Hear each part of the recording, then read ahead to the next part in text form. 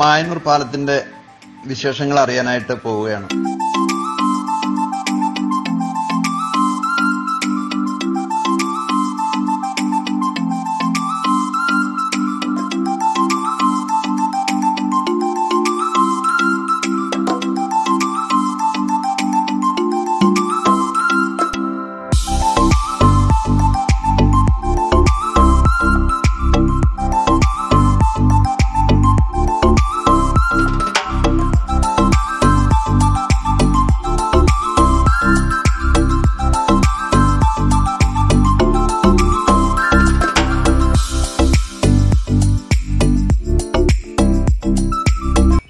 നമ്മളിനി പാലത്തിന്റെ അടിയിലെ കാഴ്ചകൾ കാണാനായിട്ട് പോവുകയാണ്. ഇതാ ഇവിടെ ഒരു റാമ്പുണ്ട്.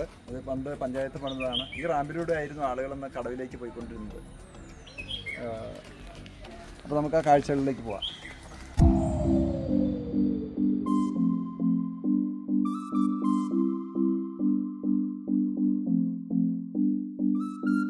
ഈ പുഴയുടെ സൈഡിൽ എത്തിയിരിക്കുകയാണ് ഇവിടെ ഇവിടെ നിന്നാണ് പണ്ട് തോണിയിലെ ആളുകൾ കയറി അക്കരയ്ക്ക് പോയിക്കൊണ്ടിരുന്നത്.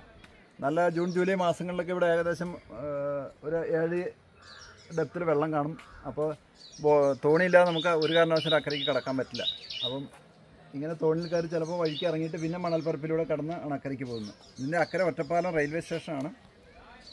അപ്പോൾ റെയിൽവേ സ്റ്റേഷനിലേക്കും ബസ് സ്റ്റാൻഡിലേക്കും പോകാനുള്ള ഇവിടെ ഈ കരയിലുള്ള മുഴുവൻ യാത്രക്കാരും ഈ തോണിയാണ് യൂസ് ചെയ്തുകൊണ്ടിരുന്നത് ഇപ്പോൾ പാലം വന്നതോടുകൂടി എല്ലാ ഇതിലുള്ള യാത്രകളും എല്ലാവരും നിന്ന് ഇവിടെ ഇപ്പോൾ അങ്ങനത്തെ യാത്രക്കാരില്ല. ഇപ്പം മുഴുവൻ ടൂറിസ്റ്റുകളാണ് ഈ മണൽപ്പരപ്പിൽ ഇരി- ഇരുന്ന് സമയം കളയാൻ. എന്താ നമുക്ക് ഇവിടെ നോക്കിയാൽ തന്നെ കാണാം എന്താ കല്യാണ പാർട്ടിയാണെന്ന് തോന്നുന്നു ഷൂട്ടിങ് ചെയ്യുന്നുണ്ട് അവിടെ.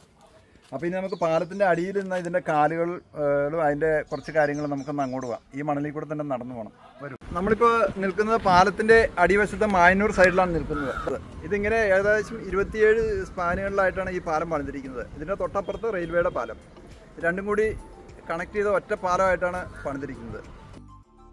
ഈ ഇവിടെ നിന്ന് കഴിഞ്ഞാൽ നമുക്ക് ഇപ്പോൾ ഇത് പുഴയാൻ തോന്നുന്നില്ല. കാരണം മെയ് മാസം ആയതുകൊണ്ട് മുഴുവൻ മണൽക്കാടുകളാണ്.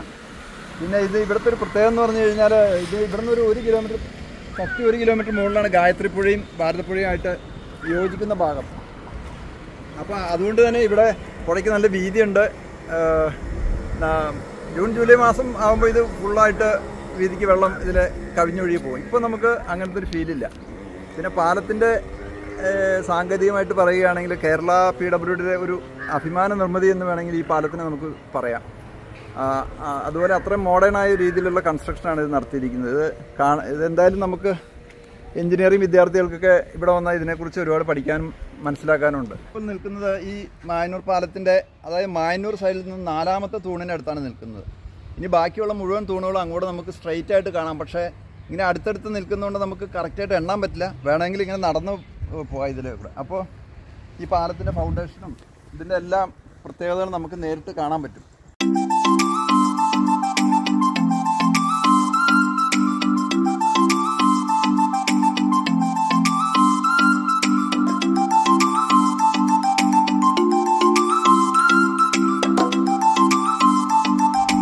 നടന്നു പോയാൽ നമുക്ക് നേരെ പോയ ഒറ്റപ്പാലത്തേക്കാണ്. അപ്പം കുറച്ചുകൂടി പോയി കഴിഞ്ഞാൽ ഈ അതിന്റെ അപ്പുറത്തെ കര ഒറ്റപ്പാലം റെയിൽവേ സ്റ്റേഷനാണ്.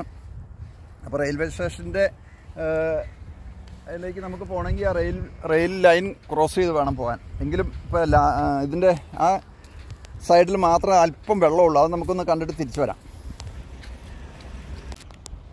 ഞാനിപ്പോൾ നടന്ന് ഏകദേശം ഈ മധ്യഭാഗത്ത് എത്തിയിട്ടുണ്ട്. മധ്യഭാഗത്ത് എത്തുമ്പോൾ വളരെ വിശാലമായ മണൽത്തിട്ട് നമുക്ക് കാണാൻ കഴിയും. ഇതാണ്ട ഏക്കർ കണക്കിന് മണലാരണ്യം മരുഭൂമി പോലെ നമുക്ക് കാണാൻ കഴിയും. മരുഭൂമി എന്ന് പറയാൻ പറ്റില്ല. കാരണം നല്ല പുൽച്ചെടികളും കുറ്റിക്കാടുകളും ഒക്കെ ധാരാളമായിട്ട് ഇവിടെ കാണാനുണ്ട്. അപ്പോൾ ഒരു ഒരു പാർക്കിന്റെ ഒരു അന്തരീക്ഷമാണ് നമുക്കിപ്പോൾ ഇവിടെ കാണാൻ കഴിയുന്നത്.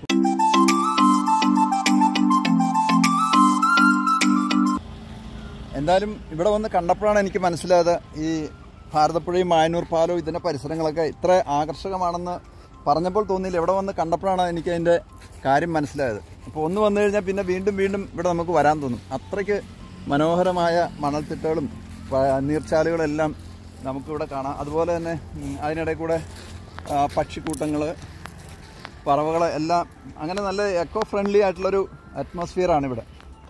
അപ്പോൾ അത് വന്ന് കണ്ടാൽ തന്നെ നമുക്ക് പറയാൻ പറ്റുള്ളൂ. എന്തായാലും ഇത് വന്ന് കണ്ടില്ലേ നമുക്ക് നിങ്ങൾക്ക് ഇതൊരു നഷ്ടമായിരിക്കും. ജീവിതത്തിൽ എപ്പോഴെങ്കിലും ഇങ്ങനെയുള്ള പ്രദേശങ്ങൾ സന്ദർശിക്കുന്നത് നമുക്ക് നല്ലതാണ്. ഈ ഒറ്റപ്പാലം സൈഡ് എത്താറായി. അവിടെ വന്നപ്പോൾ പഞ്ചസാര മണലിന്റെ അത് പോയി ഇതാ വീണ്ടും ചരലായി. ഏകദേശം ഒരു കിലോമീറ്ററോളം വീതിയുള്ള ഈ ഭാരതപ്പുഴയ്ക്ക് പുഴയിൽ ഇപ്പോൾ ആകെ വെള്ളമുള്ളത് ഒരു പത്ത് മീറ്റർ വീതിക്ക് ഇത് ഈ സൈഡിൽ കൂടെ ഈ കാണുന്ന വെള്ളം ഇപ്പോൾ ഉള്ളൂ നമുക്കിവിടെ.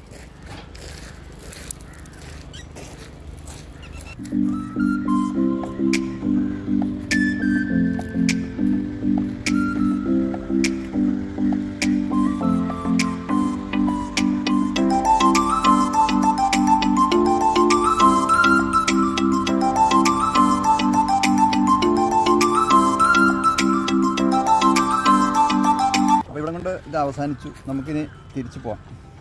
ഒരു ഇപ്പോൾ നിൽക്കുന്നത് പാലത്തിന്റെ ഈ അപ്സ്ട്രീമിലാണ് ഇവിടെ നിന്നാലാണ് ഈ ഈ ബ്രിഡ്ജിന്റെ ഫുൾ ഒരു വ്യൂ നമുക്കിപ്പോൾ കാണാൻ കഴിയും. ഈ തല തൊട്ട് അങ്ങേയറ്റം വരെ ഫുള്ളായിട്ടുള്ള എല്ലാ കാലുകളും വളരെ കൃത്യമായിട്ട് കാണാൻ സാധിക്കും. നമ്മൾ താഴെ കണ്ട പോലെയല്ല ഇവിടെ കുറച്ചുകൂടി നല്ല വിശാലതയാണ് ഈ മണൽ മണൽപ്പരപ്പിനൊക്കെ. മുകളിലേക്ക് നോക്കിയാലും കിലോമീറ്ററുകളോളം വിസ്തൃതിയിൽ നമുക്ക് കാണാൻ സാധിക്കും. രണ്ട് സൈഡും നല്ല പ്രകൃതി ഭംഗിയുള്ള സ്ഥലമാണ്. വള്ളുവനാടിന്റെയും തൃശ്ശിവ പേരിന്റെയും കൂടെ ഒരു സംഗമ സ്ഥാനമായിട്ട് വേണമെങ്കിൽ നമുക്ക് ഇതിനെ വിശേഷിപ്പിക്കാം. ഈ പാലമാണ് ഇത് രണ്ട് രാജ്യങ്ങളെ തമ്മിൽ ബന്ധിപ്പിച്ചിരിക്കുന്നത്. അപ്പോൾ ഇതെന്തായാലും ജീവിതത്തിൽ എല്ലാവരും ഒന്ന് കണ്ടിരിക്കണമെന്ന് എനിക്ക് പറയാനുള്ളൂ. കാരണം ഒരു ദിവസം ഇവിടെ നമുക്ക് ചിലവഴിച്ചാൽ അതൊരു നഷ്ടമല്ല. ആഭ്യന്തര ടൂറിസ്റ്റുകൾക്ക് കുറഞ്ഞ ചിലവിൽ വന്ന് കണ്ട് എൻജോയ് ചെയ്ത് പോകാൻ പറ്റിയൊരു സ്ഥലമാണ്. അതുകൊണ്ട് ആരും മിസ്സാക്കരുത് ഓക്കെ